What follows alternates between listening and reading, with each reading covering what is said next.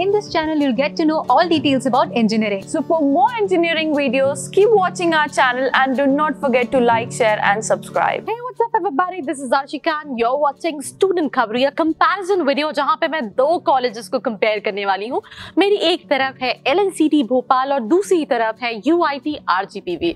As a student आपके दिमाग में बहुत सारे questions आते हैं कि मुझे कौन सा college लेना चाहिए What should I do? मुझे क्या prefer करना चाहिए अगर मैं इन दोनों colleges में confuse हूँ अगर हम UIT RGPV की बात करें तो ये जो college है, ये 1986 में establish हुआ था। Whereas अगर हम LNCT की बात करें तो 1994 में establish हुआ था। तो अगर आप दोनों को इस लेवल पे भी कंपेयर करोगे तो ऑल इन ऑल 20 साल ज़्यादा पुराना कॉलेज है यूआईटी यूआईटी जो है, वो आरजीपीवी से अफिलिएटेड है। आरजीपीवी का कॉलेज है और आरजीपीवी से एमपी में ऑलमोस्ट 50 से ज़्यादा कॉलेजेस जो है, वो अफिलिएटेड है। दोनों ही आरजीपीवी से अफिलिएटेड है। एआईसीटी अप्रूव्ड है। अगर हम एल की बात करें तो प्राइवेट इंस्टीट्यूशन है। वेरज अगर हम यूआईटी की बात करें तो नाक का ए ग्रेड अक्रोडेशन भी है यू आई के बाद। पास अब दोनों ही जो कॉलेज है वो bachelor of engineering you know BTech के लिए नोन है। कई सारी स्ट्रीम्स में कराते हैं। आपको केमिकल मिल जाएगा आपको कंप्यूटर साइंस मिल जाएगा आईटी मिल जाएगा ईसी e मिल जाएगा मैकेनिकल सिविल इलेक्ट्रिकल ये सारी ब्रांचेस मिल जाएँगी। मैं इस वीडियो में एल एन मेन की बात करी हूँ। अगेन आपको कंफ्यूज नहीं होना है। उनकी जो और कॉलेजेस हैं उसके बीच में बिकॉज़ उन सभी कॉलेजेस में और मेन में डिफरेंस है। ये आपको समझना एज अ स्टूडेंट बहुत ज़रूरी है। सो so, ये सारी ब्रांचेस दोनों ही कॉलेज में मिल जाएँगे। फ़ीस स्ट्रक्चर में ज़मीन आसमान का फ़र्क है, जहाँ आप यू आई में पच्चीस से तीस हज़ार रुपए का इन्वेस्टमेंट है वेर आपको एल में एक लाख से ऊपर का इन्वेस्टमेंट है। तो आप ये कह सकते हैं कि यहाँ पे आप का हो सकता है ऑलमोस्ट एक लाख एक लाख बीस हज़ार के अंदर जो वन ईयर की आप एलएनसीटी में फ़ीस पे करोगे उसमें आपकी पूरी बैचलर ऑफ़ इंजीनियरिंग ही कंप्लीट हो जाए। कुछ चीज़ों के बारे में एड ऑन करना चाहूँगी कि एडमिशन uh, प्रोसेस दोनों का सेम है। एम पी काउंसलिंग होती है। डी काउंसलिंग में आपको रजिस्ट्रेशन चॉइस फिलिंग करना पड़ता है। उसके बेसिस पे आप एनरोल कर सकते हैं। दोनों ही कॉलेजेस में कोई डायरेक्ट एडमिशन नहीं है।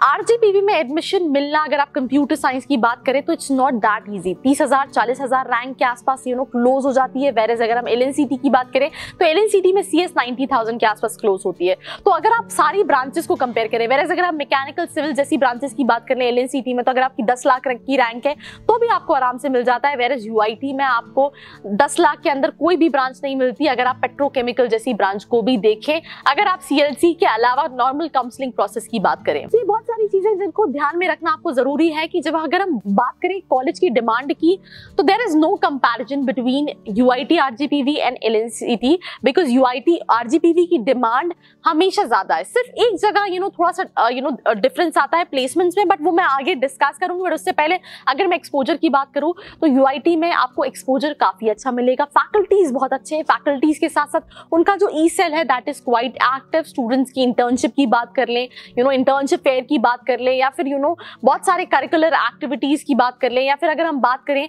तो इस साल यू नो देव इंट्रोड्यूस की यू नो उनको गवर्नमेंट की तरफ़ से फंड मिला है जिसमें जो स्टार्टअप्स उनके कॉलेज से निकलेंगे उनको वो दस लाख तक का you you know know, seed funding भी करने वाले हैं। तो ऐसी बहुत सारी अपॉर्चुनिटीज़ हैं when it comes to exposure जो आपको यूआईटी में मिल सकती है। वेर एल में भी यू नो इंक्यूबेशन सेंटर है बट एज ऑफ़ नाउ बहुत ज़्यादा एक्टिव नहीं है। कुछ क्लब ज़रूर है जो थोड़े से एक्टिव हैं, जैसे कि like L N C T broadcast करके चैनल है जो यू नो स्टूडेंट्स रन कर रहे हैं, ऐसी बहुत सारी चीज़ें तो एक्सपोजर वाइज अगर आप देखें तो मुझे लगता है U I T R G P V ज़्यादा बेटर ऑप्शन रहेगा as compare to L N C T now comes to a very important point जिसके बारे में आप सभी ने सोचा होगा ये वीडियो को शुरू करते हुए। प्लेसमेंट पे अगर हम बात करें तो ऑब्वियसली यू नो एलएनसीटी का placement when it comes to computer science and IT थोड़ा सा ज़्यादा है बट उसके लिए आप पैसे भी ज़्यादा लगा रहे हो। आपका ऑल इन ऑल ज़्यादा इन्वेस्टमेंट है। एक और चीज़ है कि एल में कई सारी प्लेसमेंट्स ऐसे होते हैं जहाँ पे ओपन प्लेसमेंट्स होते हैं, जहाँ पे यू नो यू के स्टूडेंट्स भी जाके पार्टिसिपेट कर सकते हैं।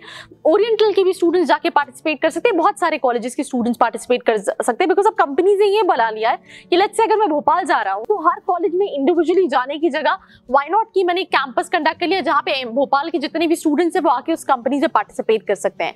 दूसरी चीज़ यूआईटी में भी प्लेसमेंट आते हैं specially for C S I तो प्लेसमेंट आते ही है बट ऑब्वियसली गवर्नमेंट कॉलेज है तो वो बहुत ज़्यादा एक तरह से आप ये नहीं कहें कि बहुत ज़्यादा एफर्ट्स डालता है when it comes to placement उनकी भी ई e की टीम है सॉरी प्लेसमेंट की टीम है जो एक्टिव है बट अगर आप नंबर्स में कंपेयर करें तो हो सकता है आपको दोनों कॉलेजेस में डिफरेंस मिले बट आपको एक चीज़ सोचनी है कि uh, बहुत सारे स्टूडेंट्स एल से प्लेस होते हैं यू नो कंपनीज़ में बट उन स्टूडेंट्स का छह महीने के बाद क्या? क्या पैकेजेस मिलते हैं? क्या वो बल्क हायरिंग है या फिर यू नो कोई बहुत अच्छा पैकेज है?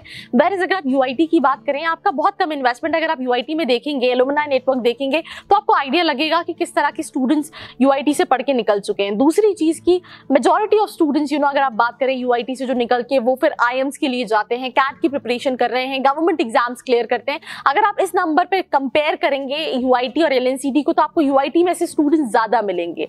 आपको आर ओ में ज़्यादा मिलेगा बिकॉज़ भोपाल में आने वाले टाइम में मेजोरिटी ऑफ़ प्लेसमेंट जो है वो ओपन है तो उसमें स्टूडेंट्स अगर आपके अंदर कैपेबिलिटीज है तो आप बहुत इजीली प्लेस हो सकते हो। तो आपको ये मेक श्योर sure करना है कि अगर हम बात करें एलएनसीटी और यूआईटी की तो there is no comparison UIT is definitely better than L but just because अगर आप एक यू नो प्रोस्पेक्ट पे कंपेयर कंपेयर करो कि कितनी कंपनीज़ आती हैं प्लेसमेंट में तो उसमें ज़रूर हो सकता है आपको एलएनसीटी मेन में सीएसआईटी की कंपनी ज़्यादा मिल जाएँगी when it comes to placement but for that you have to pay a big chunk of money and साथ ही साथ कि वो छह महीने बाद उन स्टूडेंट्स के क्या यू नो क्या वो उस कंपनी में कंटिन्यू करे हैं बल्क हायरिंग है कितना पैकेज है, ये भी एक और चीज़ है जो आपको सोचने की बहुत ज़रूरत है। This was a video on U I T versus L I hope आपको ये वीडियो पसंद आया होगा। अगर आपको कोई फीडबैक है जो आप मुझे देना चाहते हो but love to you know have your feedback you can let me know in the comment section below in colleges के अंदर कम रैंक आप कैसे इनरोल कर सकते हो उसके लिए नीचे नंबर दिया कॉल मैसेज या व्हाट्सएप करके पता कर सकते हो।